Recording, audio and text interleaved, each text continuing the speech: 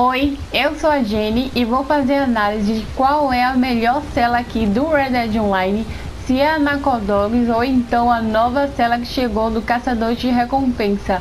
Vou levar em consideração o preço e o desempenho de cada cela. Será que a nova cela do Caçador de Recompensa vai conseguir desbancar a Nacodogs de melhor cela da atualidade? É o que vamos ver. Você tá afim de uma conta Red Dead Online upada com muito ouro e dinheiro do Xbox One? É com meu amigo e parceiro GRF Cristo. Link do canal do parceiro na descrição do vídeo e também na aba de canais parceiros que eu recomendo. Conta Top Full e canal Top é com GRF Cristo. Um fator muito importante que devemos levar em consideração é o preço de cada cela. A Nacodog está custando 512 dólares, só que está na promoção essa semana por 358. E a nova cela do Caçador de Recompensas chegou por 625 dólares, só que também está na promoção por 437. Primeiro, vamos levar em consideração o desempenho da cela. Estou aqui com a Nocodogs aqui no meu cavalo e ela aumentou 3 barrinhas de velocidade e 3 barrinhas de aceleração. E aqui nós vemos o desempenho da cela Nacodogs, 40% a menos de taxa de esgotamento de fôlego do seu cavalo.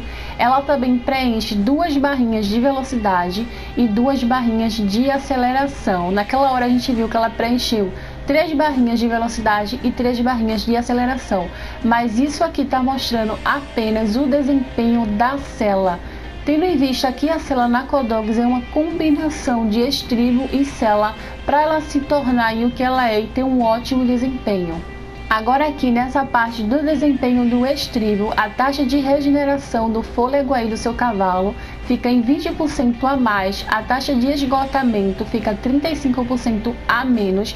Reparem que tem duas taxas aí de esgotamento de fôlego do seu cavalo, porque uma é da cela e a outra é do estribo. Então, as duas combinações aí com a cela e o estribo vai causar duas taxas de esgotamento de fôlego do seu cavalo. E temos mais uma taxa de esgotamento aqui com 18% a menos. E a taxa de esgotamento de vida do seu cavalo fica em 25% a menos, usando anacodogs com um bom estribo. Por que, que essa combinação com anacodogs e um bom estribo é tão importante? Eu vou tirar esse estribo aqui para fazer um teste e vou botar um estribo com menor desempenho aí, um dos menores desempenho aí que tem. Então vocês vão ver a diferença quando a gente tira os estribos aí da Narcodox e bota um com menor desempenho do que esse daqui atual.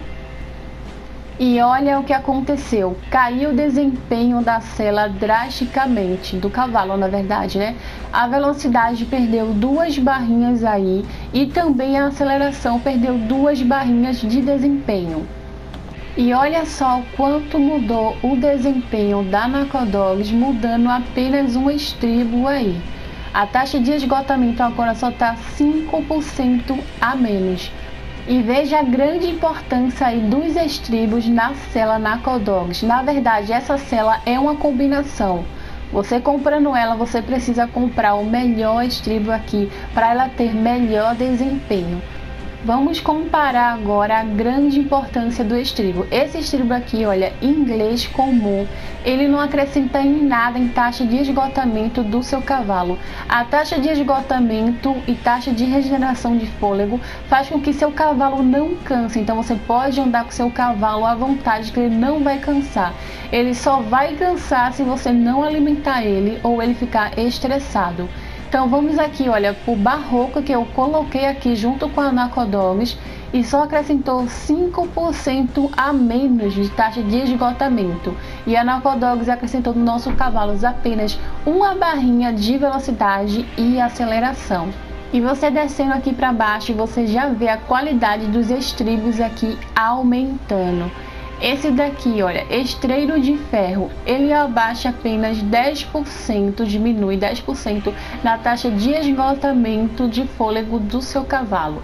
E você já descendo mais um pouco aqui, esse daqui, estreiro, aumenta uma barrinha de velocidade e outra barrinha de aceleração e diminui 15% a menos na taxa de esgotamento do seu cavalo. E aqui para baixo é o que tá o segredo, são os três melhores estribos aí que tem no jogo. E eles aumentam duas barrinhas de velocidade e duas barrinhas de aceleração, além de aumentar muito a taxa de esgotamento de fôlego do seu cavalo. Esse daqui é o melhor com 50% a menos de taxa de esgotamento. Agora eu peguei esse daqui por questão mesmo de estética, porque eu achei ele muito bonito e aumenta 40%, diminui na verdade 40% a taxa de esgotamento do fôlego do meu cavalo e aumenta duas barrinhas de velocidade e duas de aceleração. Então a cela Nacodogs ela não é nada sem um bom estribo e uma boa combinação. E você comprando ela, você vai ter que comprar também os afoges aqui, o estribo, que são caros. Vai ter que comprar o pito e a manta. Esses dois aqui, o pito e a manta, são opcional mesmo, questão de estética. Você tá mudando eles, mas o estribos e os afoges são muito importantes aí de você comprar, principalmente os estribos. Então ela vai sair muito mais cara que a cela do caçador de recompensa, você comprando tudo junto. E estamos aqui com a cela do caçador de recompensa, a nova cela, e olha só o desempenho dela. Taxa de esgotamento de vida do cavalo fica 24% a menos, taxa de regeneração de fôlego 30% a mais, taxa de esgotamento 30% a menos e taxa de esgotamento mais uma taxa aí 65% a menos. Então, a qualidade e desempenho da nova célula do caçador de recompensa é muito superior à Nacodogs. E um fator muito importante que é o preço, ela vai sair muito mais barata que a Nacodogs, olha só, porque você não vai precisar comprar nem os afoges, nem os estribos, nem os pitos, nem as mantas e o saco de dormir. Você não vai precisar comprar nada disso, porque isso já vem junto com a cela. E dessa forma ela vai ser muito mais barata lá que a Nocodogs, sem falar que vai ter muito mais desempenho. E devemos também levar em consideração as vantagens e desvantagens de cada uma das celas. A Nacodogs aí, ela tem sua vantagem de acrescentar uma barrinha a mais de aceleração e velocidade do seu cavalo, só que o desempenho dela é muito menor que a cela de caçador de recompensa e outra desvantagem é que ela custa muito mais caro. E a nova cela do caçador de recompensa, ela tem muito mais desempenho, é muito mais superior à Nacodogs, também tem seu preço muito menor, tendo em vista aí um custo-benefício muito bom só a única desvantagem dela é que ela tem uma barrinha a menos de velocidade e aceleração que a Nakodogs. Então, por seu desempenho, analisando o desempenho das duas aí e preço, com certeza a cela do caçador de recompensa é muito melhor e muito superior à Nakodogs, que fica para mim em segundo lugar como a melhor cela do jogo. Espero que tenham gostado da análise. Obrigado por assistir até aqui. Valeu demais!